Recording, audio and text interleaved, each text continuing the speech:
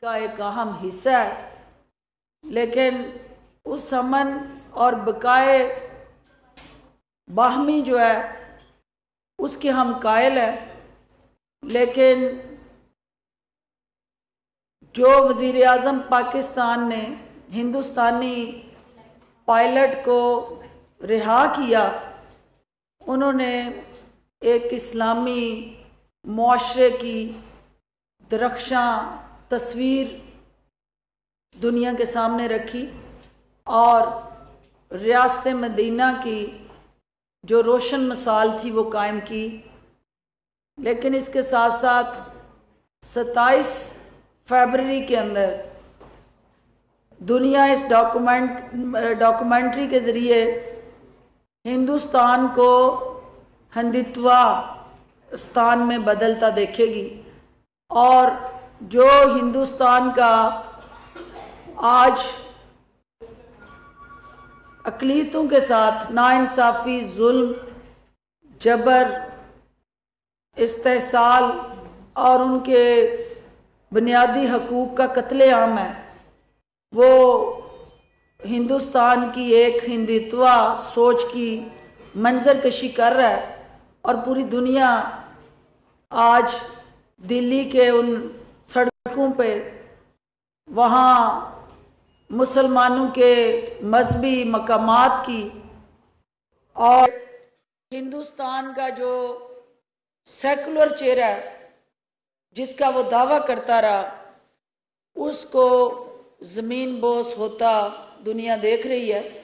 تو یہ جو ڈاکومنٹری ہے، یہ جہاں آپ کے آئینی عزم کا اظہار ہے، وہاں بحثیت قوم آپ کے لیے یہ قابل فخر ہے کہ آپ کا دفاع مضبوط ہاتھوں میں ہے۔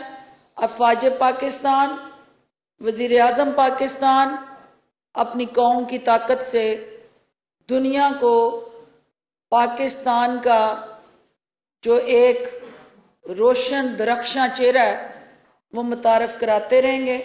اور دنیا اس کی موترف بھی ہے اور آپ نے حالیہ دورہ ہندوستان میں ٹرمپ نے جس انداز سے مودی کے سامنے کھڑے ہو کے تمام ہندوستانی قیادت کے سامنے برملا انداز میں پاکستان کی دہشت گردی کے خلاف جو کاوشیں ہیں ان کو سراہا اور جس انداز سے وزیر اعظم پاکستان کو ان کی پالیسیز کو اور خطے کے اندر امن کے ساتھ جڑی ان کی کاوشوں کو سراہا اور خراج تحسین پیش کیا، یہ آپ سب کے لیے قابل فخر اور قابل ستائش لمحہ ہے، کیونکہ ہمیشہ ہندوستان نے دنیا میں پاکستان کا نیگیٹو فیس مارکیٹ کیا۔ ہمیشہ دنیا میں پاکستان کو دہشت گردی کے ساتھ جوڑ کے امن کے دشمن کے طور پہ پروموٹ کیا۔ تو وہاں جن قوتوں کو یہ پیغام دینے کے لیے اس نے کھربوں ڈالر اپنے ڈپلومیسی پہ خرچ کیے۔ کل اس کا وہ تمام بیانیاں شکست کھا گیا۔ جب اس کے گھر میں آ کے وہاں صدر ٹرمپ نے پاکستان کی کوششوں کو انڈورس کیا۔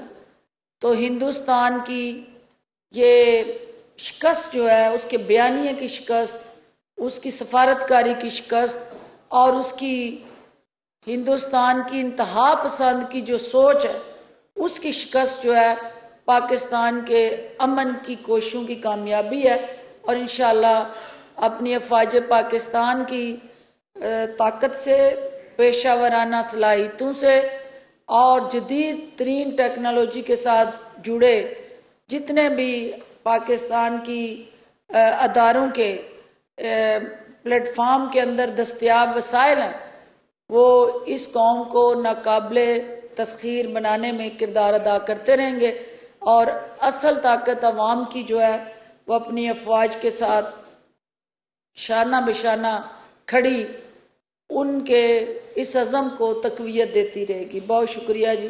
آپ اس کی وہ لانچنگ جو ہے میڈیا سے میری اپیل ہے کہ آپ اس کو جتنے بھی میڈیا کے میرے یہاں تشریف فرما ہیں ریپرزینٹیٹیوز وہ اس کو ایک اپنی اچیومنٹ سمجھ کے چلائے، کیونکہ یہ آپ کی پوری قوم کی اچیومنٹ ہے۔ اور ستائیس تاریخ جو کل کا دن ہے، یہ آپ کے لیے ایک وکٹری کا دن ہے۔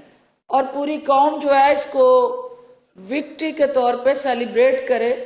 اور فخر سے پاکستانی ہونے پہ نہ صرف دنیا کے سامنے سینہ تان کے کھڑی ہو، بلکہ اپنی شناخت پہ بھی فخر کرے کہ ہم وہ قوم ہیں جو مشکل ترین محاذوں پہ بھی، جب بھی ایسا موقع اور لمحہ آیا، آپ کندن بن کے نکلے اور ہر جگہ آپ نے اپنے قومی مفاد کو پروٹیکٹ بھی کیا پروموٹ بھی کیا اور پھر دنیا کے سامنے آپ کی طاقت سے ہم سرخرو بھی ہوئے اور انشاءاللہ ہوتے رہیں گے۔ بہت شکریہ۔